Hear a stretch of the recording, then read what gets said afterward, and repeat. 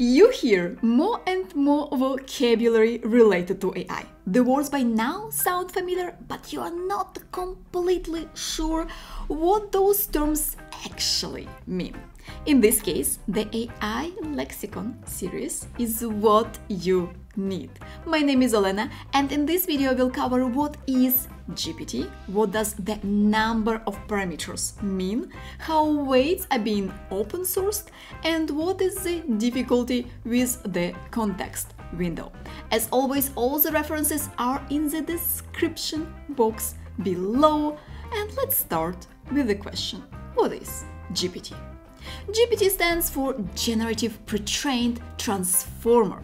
It is a powerful type of artificial intelligence system, large language model capable of generating text, images, or other media in response to a prompt. Word by word, generative means that it is designed to generate or create something such as text the pre-trained part means that the model has already been trained on a massive amount of text data or other types of data. It has learned the patterns and structures of language from its training data. This training allows it to have a good understanding of grammar, context, and meaning might be still lacking knowledge of the domain you need it for, but at least it can reasonably talk. And the transformer is a specific type of deep learning model architecture that in short allows computers to understand how distant text elements influence and depend on each other. It relies on what is called self-attention to figure out the context of provided information. The attention mechanism of the transformer provides context for any position in the input sequence and it assigns meaning to words based on their surrounding words. In comparison to older approaches, it doesn't process words one by one separately, but looks at the text as a whole, attempting to understand the relationship between words.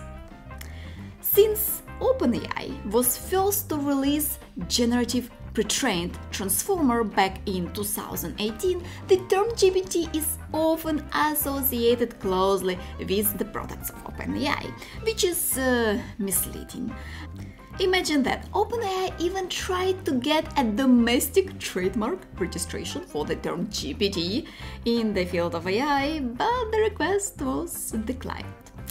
Uh, that's why you will see plenty of other models not related to OpenAI that have GPT in their names.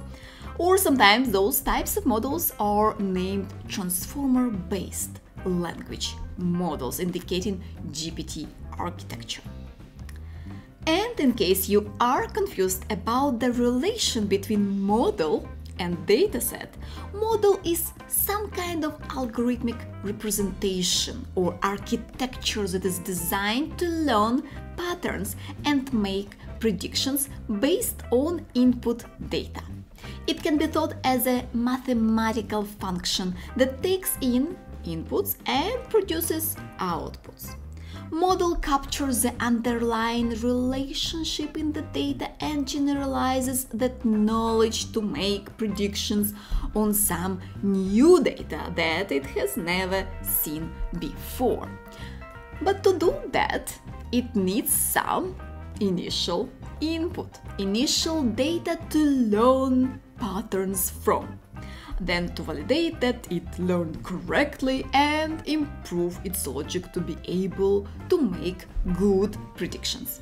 And that is what is data set for, what is good data set for. With that, the data set must be representative of the problem domain and cover a wide range of scenarios to ensure the model that is created based on it is robust. Some models will be trained with the web data, either cleaned or not. Others will be trained on some synthetic data that might have been generated with the help of existing GPT. And the power of a model depends on the number of parameters, the amount of data that they were trained on, and the type of tasks they can perform. Which moves us to the next question. In the name of models, we often see some numbers like 40B, 560M, 7B. What do they actually mean? These numbers indicate adjustable parameters within the model.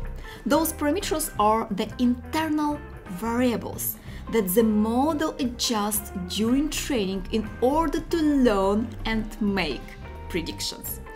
Number of parameters generally determines the model's capacity to capture and generate complex patterns in text and code. A higher number of parameters allows the model to represent a wider range of features and relationships, potentially bringing better language understanding, translation, summarization, and code generation. But it also means that the creation of such a model, or what is called training, needs more computational power and larger datasets, as a bigger amount of data that model can learn from. Also, once the model is there in the real life, the bigger it is, the more difficult it is to run it on smaller devices.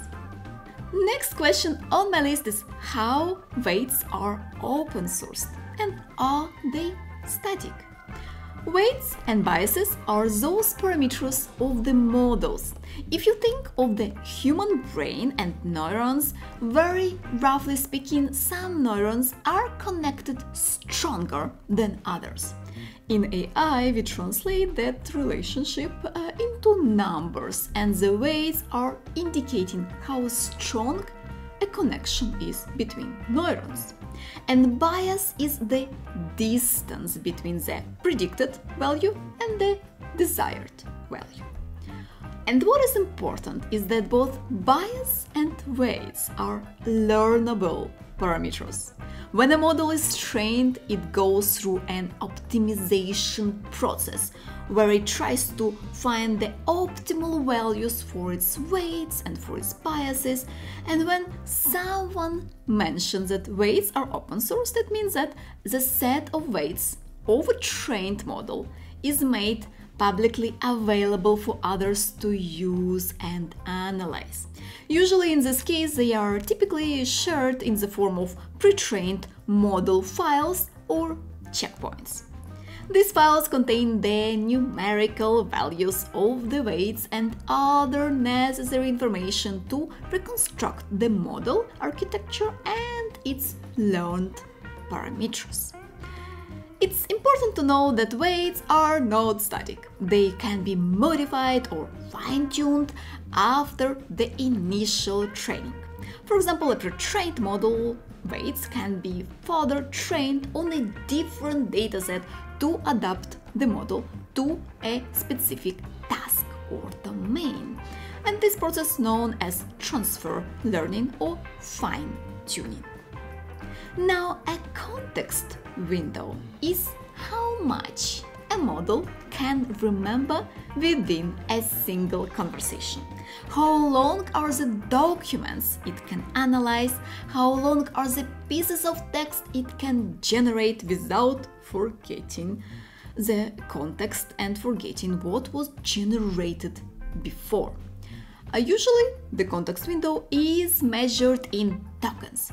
It depends on a taken approach, but in most cases, tokens are parts of words, so they are neither individual characters nor complete words, but some meaningful parts of words one by one. The biggest context window is now in Claude from Anthropic and it has 100k tokens, which is around 75,000 words. There is actually a technical difficulty with bigger context windows. Doubling the number of tokens in context window increases the required computational cost actually by four times. So it's not easy and right now there are attempts to find a way uh, to make bigger context windows but make it less expensive. Um, and in a bit of a gossip section, OpenAI mentions that they have a plan to increase the size of the context window dramatically for their ChatGPT. That's it for AI lexicon section today. Let me know what other terms you'd like me to cover in the comment section below.